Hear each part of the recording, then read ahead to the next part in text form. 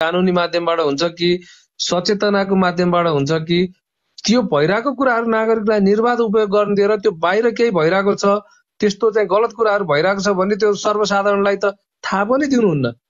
उहाँहरूले कारवाही गर्नुहुन्छ सजग गराउनुहुन्छ यस्तो यस्तो प्रयोग गर्दाखेरि चाहिँ यस्तो क्रियाकलाप नगर्नुहोस् त्यो गर्नु भने तपाईँहरू कानुन दायरामा पर्नुहुन्छ भनेर सचेत गराउने एउटा कुरो भयो तर भइरहेका विकृतिहरू चाहिँ त्यो एउटा र्युमरको हिसाबमा एउटा अफवाहको रूपमा चाहिँ फैलिरहेको छ भने त्यो कुरालाई त जनता सामु कतिपय कुराहरू त पुग्न पनि दिनुहुन्न सरकारले।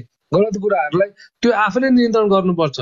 त्यस्तो चाहिँ एउटा हुन्छ नि अब कतिपय ज्योतिषहरूले भविष्यवाणी गरिरहेको हुन्छ यो दिन यो गति यस्तो हुन्छ भन्छ। त्यो ज्योतिषलाई लिएर समाएर त्यो अफवाह रोकिदिन्छ उसले भनेको कुरो सत्य हुन पनि सक्छ नहुन पनि सक्छ।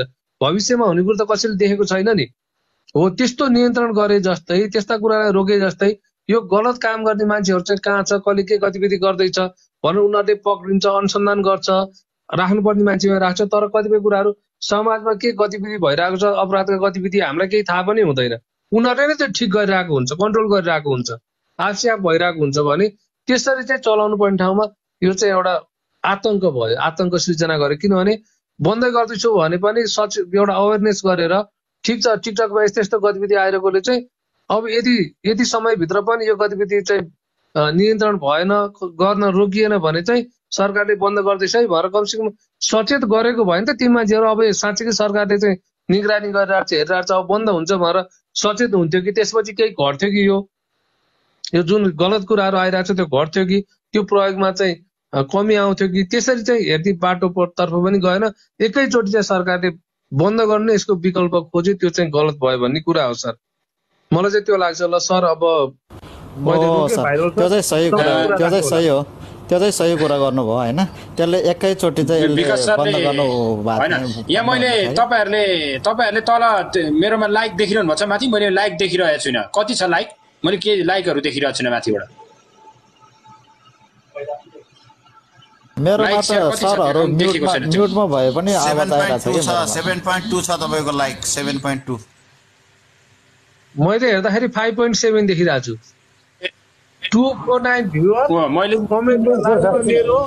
मेरोमा त म्युट बसेर पनि आवाज आइरहेछ क्या तपाईँहरूको?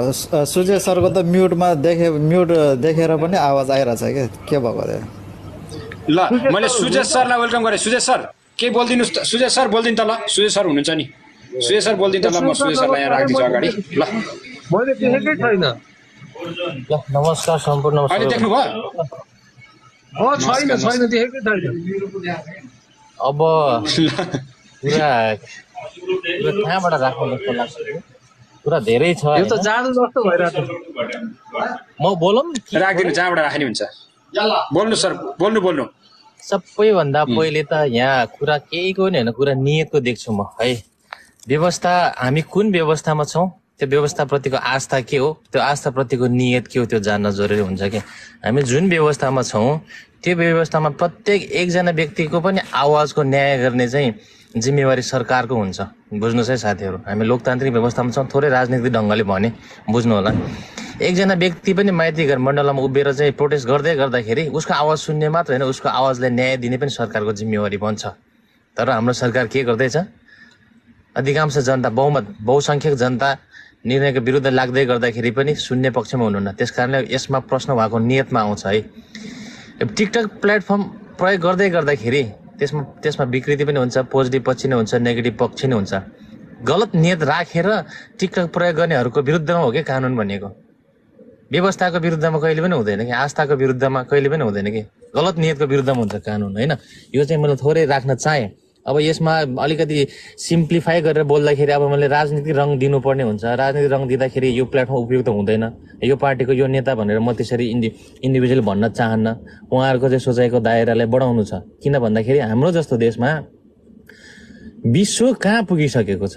विश्वलाई विकास गर्ने अहिले सबैभन्दा चाहिँ एकदम इम्पोर्टेन्ट अस्त्र भनेको तपाईँको सोसल मिडिया भनौँ न मिडिया भनौँ। होइन संसार प्रविधि भनौँ। छिमेकी राष्ट्र चन्द्रमामा पुगिसक्यो। हाम्रो हाम्रो देशमा अझै पनि के छ? टोयलेटमा दिशा कसरी गर्ने? पोलियो चाहिँ भिटामिन कसरी खुवाउने भन्ने नै सूचना दिन नै जरुरी छ हाम्रो देशमा। देशको स्थिति बुझ्नु पर्यो नि। कति धेरै दूर दराजमा अझै पनि तपाईँको त्यहाँ पहुँच छैन। जनतालाई सुसूचित गराउनु पर्नेछ। जनतालाई सही जानकारी दिनुपर्नेछ। जनतालाई सपना देखाउनु पर्नेछ। जनतालाई प्रगतिको बाटोमा लैजानु पर्नेछ। त्यो बेलामा सामाजिक सञ्जालहरूको सदुपयोग गर्नुको सट्टा अब यो अब के भन्ने यसलाई अब अदूरदर्शिता भनौँ या अब जगडिएको राजनीतिक व्यवस्था भनौँ अथवा त्यो भित्र रहेको राजनीतिक चाहिँ खेलाडीहरू अथवा नेताहरूको चाहिँ कमजोरीपन भनौँ या बाह्य या डोमेस्टिक वा इन्टरनेसनल प्रभाव या दबाव भनौँ। होइन यो कुरामा चाहिँ आफ्नो देशको स्थितिको विषयमा सबैभन्दा पहिले म राम्रो ढङ्गले सोच्न जानकारीको हाम्रो नेताहरूले गराउन चाहे है इन्डिरेक्टली रूपमा। किन भन्दाखेरि हाम्रो देशको स्थिति बुझ्नु छ अझै पनि। हाम्रो देश निकै धेरै पछाडि छ। हाम्रो देशले निकै प्रगति गर्नु छ। छिमेकी चन्द्रमा पुगिसक्यो। हामी अझै पनि प्रगति गर्दैखेरि प्रगति गर्ने जुन प्लेटफर्म छ त्यो प्लेटफर्ममै काटिदिएर सम्पूर्ण युवाहरूलाई तपाईँको पखेटा काटिदिने अनि चाहिँ उड भन्ने खालको चाहिँ यो भए यो बिल्कुल गलत भइरहेको छ। देशबाट लखेट्ने किसिमको नियत यो नियतमाथिको प्रश्न हो मेरो है। अब यो भन्दै गर्दा सोसियल मिडियाको प्रभावको विषयमा फाइदाको विषयमा थोरै राखेँ। कति धेरै एडभान्टेज छ हेर्नुहोस् त। कनेक्टिभ म अन पोइन्टमा भन्छु यही कुरा घरिघरि रिपिट गर्दा राम्रो हुँदैन। कनेक्टिभिटी गराउँछ यसले एजुकेसन गराउँछ यसले इन्फर्मेसन दिन्छ जनतालाई यसले जनतालाई अवेरनेस दिन्छ। यसले एउटासँग भएको आइडियालाई अर्कोलाई सेयर गराउँछ सशक्तिकरण गराउँछ कम्युनिटी बिल्डअपमा लागि मद्दत गर्छ। तपाईँ एउटा त्यो कम्युनिटीभित्रको एउटा कुपात्रले एउटा गलत किसिमको नियत राखेर मिसयुज गर्यो भन्दैमा अनि त्यसको पखेटै काटिदिने त्यसको प्लेटफर्मै बन्द गरिदिने व्यवस्थै बन्द गरिदिने। तपाईँ भित्र तपाईँको पार्टीभित्र भएको एकजना नेताले भ्रष्टाचार गर्यो भने तपाईँ पार्टी कोल्याप्स गर्न सक्नुहुन्छ? जुन कुरा आफू गर्न सक्नुहुन्न जनतालाई किन त्यसको शिकार बनाउनुहुन्छ? यो मेरो प्रश्न रह्यो है। यसको फाइदाको विषयमा हेर्नु त बहुआयामिक फाइदा छ नि त। हामी सबै जोडिएको के कारणले? टिकटक कारणले होइन? यसको यसको डिरेक्टली इन्डिरेक्टली प्रभाव सक समाजमा सकारात्मक ढङ्गले चाहिँ जनचेताउने फैलाउने अथवा एकले अर्कालाई मोटिभेट गर्ने बात भने यही प्लेटफर्मले दिएको होइन यसले कनेक्सन बिल्डअप गराएको होइन यसले जनतालाई सुसूचित गराएको होइन। अब तपाईँ तपाईँहरू भन्दै हुनुहुन्छ देशलाई अब चाहिँ इन्टरनेट प्रगतिको बाटोमा लैजाने चाहिँ तपाईँ राजनीतिक नारा दिनुहुन्छ चुनावको सन्दर्भमा गएर चाहिँ भाषण गर्नुहुन्छ होइन जनतालाई सपना दिनुहुन्छ तर जनताको पखेटा काट्ने तपाईँ निर्णय गर्नुहुन्छ। यो विषयमा त सोच्नु पर्यो नि। यार एउटा सामान्य व्यक्तिले सोच्नु पर्छ पर्दैन। अब मैले एक दुईवटा अब्जर्भेसन राखेको छु लेखेर त्यो राखे सरसर्ती धेरै समय लिन चाहन्न होइन? के कस्तो भइरहेको छ? किन यो डिसिसन भइरहेको छ? अथवा किन हुनु हुँदैन थियो भन्ने दुई चारवटा पोइन्ट मैले लेखेको छु त्यो राखेँ है त Raju sir. TikTok for every individual individual for random viewers from all around the world जति पनि अरू चाहिँ प्लेटफर्महरू छ तपाईँ युट्युब भन्नु भन्नुहुन्छ भने युट्युब भनेको तपाईँले कन्टेन्ट क्रिएट गर्नुहुन्छ होइन? तपाईँको जसले सब्सक्राइब गर्छ उसले मात्र हेर्छ। तर टिकटक एउटा त्यस्तो प्लेटफर्म भयो।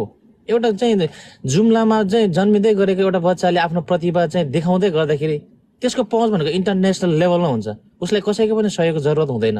ऊ आफूमा चाहिँ एउटा सशक्तिकरण गर्ने माध्यम बन्दै गरेको छ क्या टिकटक भनेको।